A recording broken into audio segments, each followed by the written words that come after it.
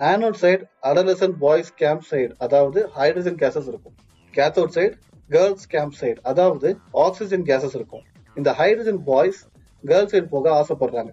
ஆனா இந்த ரெண்டு கேம்புக்கு நடுவுல எலக்ட்ரோலைட்னு சொல்லப்படுற திக்கா ஒரு வால் இருக்கு.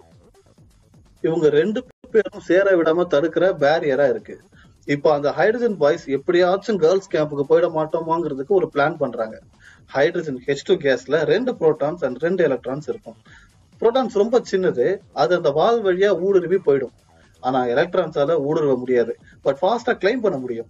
ஸோ எலக்ட்ரான்ஸ் வால்ல இருக்கிற ஏதோ ஒரு கம்பியை பிடிச்சி கிளைம் பண்ணி அந்த பக்கம் இருக்கிற தன்னோட ரெண்டு புரோட்டான்ஸ் கூட சேர்ந்து திரும்பவும் ஹைட்ரஜன் மாலிகுல் பாய்ஸா உருவெடுத்து கேல்ஸ்கேம் போயிடலாம்ங்கிறது தான் அந்த பிளான் இப்போ ஹைட்ரஜன் கேஸை ரெண்டு பார்ட்டா எப்படி பிரிக்கிறது? இந்த செட்டப்ல கேட்டலிஸ்ட்னு ஒரு சொல்யூஷன் இருக்கும்.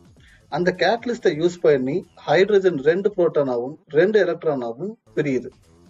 இப்ப ஏற்கனவே பிளான் பண்ண மாதிரி புரோட்டான்ஸ் வால் வழியே ஊடுருவி போயிடுது. எலக்ட்ரான்ஸ் வால்ல இருக்க ஏதோ ஒரு கம்பியை பிடிச்சி ஃபாஸ்டா கிளைம் பண்ணி அந்த பக்கம் காத்துக்கிட்டு இருக்க தன்னோட ரெண்டு புரோட்டான்ஸ் கிட்ட போய் சேர்ந்து திரும்பவும் ஹைட்ரஜன் கேஸா உருவெடுத்து கேல்ஸ் கேம்புக்கு போயிட்டாங்க.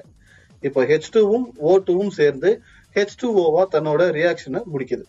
இதுதான் ஃபியூல் செல்ல நடக்கிற ரியாக்ஷன் பட் இது எலக்ட்ரிசிட்டி எங்க? ஃப்ளோ ஆஃப் எலக்ட்ரான்ஸ் தானே எலக்ட்ரிசிட்டி எலக்ட்ரான்ஸ் எலக்ட்ரோலைட் அதாவது ஒரு வால்ல ஊடுருவி போகாம ஒரு சர்க்கியூட்ல சுத்தி போகும்போது அந்த சர்க்கியூட்ல எலக்ட்ரிசிட்டி இருக்குன்னு அர்த்தம். இப்போ அந்த